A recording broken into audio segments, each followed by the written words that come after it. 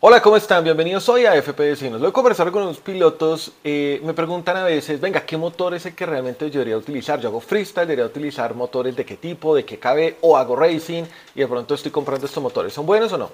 Más allá de primero mirar el tema de marca, lo importante es llegar a entender realmente qué significan esos números que encontramos en los motores eh, para drones FPV, que son por ejemplo 2306 o 2207. Y adicional a eso también entender pues qué, en qué influyen obviamente el término de cabe sobre nuestros motores. De acuerdo a ello, apenas podamos entender de qué sirven, pues podemos llegar a entender eh, qué elección o qué motores funcionan mejor para nuestro tipo de vuelo, que en este caso particular puede llegar a ser freestyle o drone racing. Así que vamos a ello. Primero, tenemos motores 2306 eh, o 2207 usualmente en drones de 5 pulgadas. No obstante, los 2207 a veces llegamos a encontrar 2206.5 o 2208. ¿Qué significan esos números particularmente? Aquí les presento un motor 2306. 23 significa el ancho del estator del motor, como tal, el ancho del diámetro de nuestro motor. Y por otra parte, el 06 es el alto como tal del estator que nosotros tenemos en nuestro motor. Eso es lo que significa esa medida, es decir, cuando estamos hablando de 2306, estamos técnicamente hablando de un volumen eh, en un motor. Cuando hablamos de KB, básicamente lo que estamos hablando es de la cantidad de RPM que puede llegar a alcanzar un motor. Entre más alto el KB, más RPM tenemos. RPM es igual a la cantidad de giros que obviamente puede dar nuestro motor en un minuto.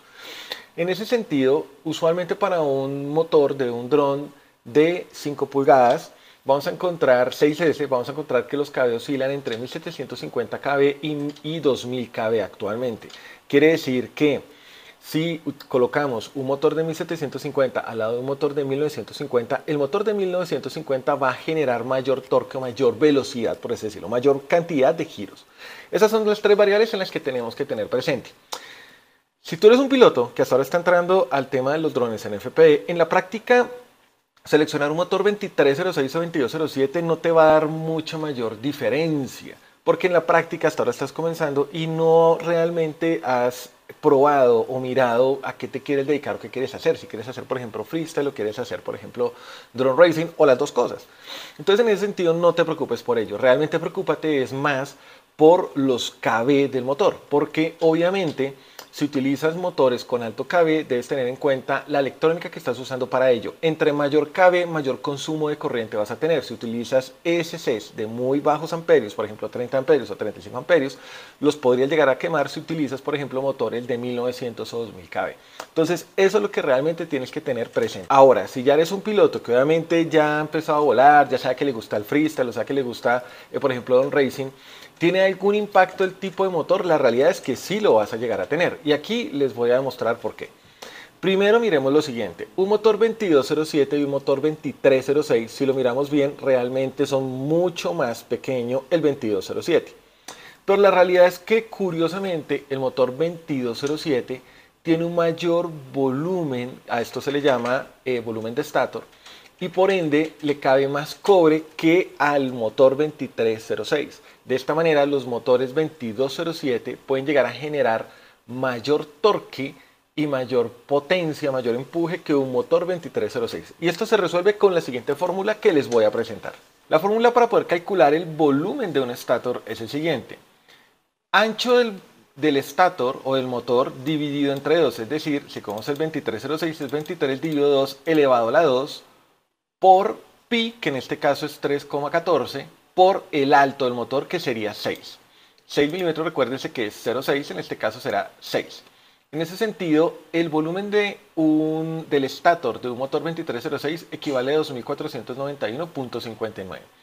22 dividido 2 elevado a la 2 por 3,14 por 7, que nos va a equivaler a 2659.58. Entonces, en ese sentido, ¿eso qué quiere decir? Los motores 23, 2207, si bien técnicamente, físicamente son más pequeños porque son menos anchos, el efecto de que sean más altos nos permite agregar mucho más cobre dentro de este motor y por ende, al tener más cobre, vamos a poder generar mayor cantidad de RPM y por ende van a ser mucho más potentes o generan más empuje que los 2306. Ok, basado en lo anterior y teniendo presente que ya entendemos tamaño motor, potencia del motor, Ahora sí, ¿qué tipo de motor funciona mejor de acuerdo al tipo de vuelo que yo hago? Ok, esto es muy sencillo.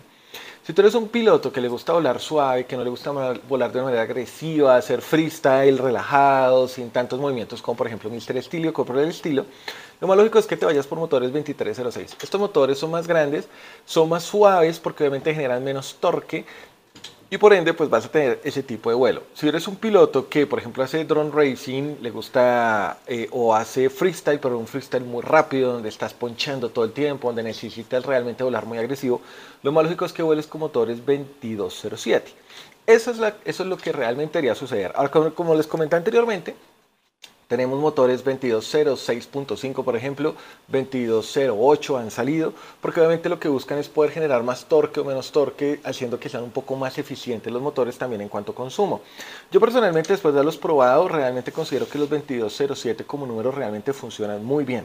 Y se utilizan cabes altos, independientemente sea freestyle o drone racing, lo importante es que tengan presente su electrónica, en el caso de la CSC, para evitar que de pronto cuando estén punchando mucho, jalen demasiada corriente y de pronto esta se pueda llegar a afectar con algún golpe o una alta corriente y simplemente se vaya por la cantidad de corriente que obviamente están consumiendo en ese momento. Espero que de esta manera les haya podido aclarar sus dudas, les haya gustado este video y nos vemos en la próxima. Hasta luego.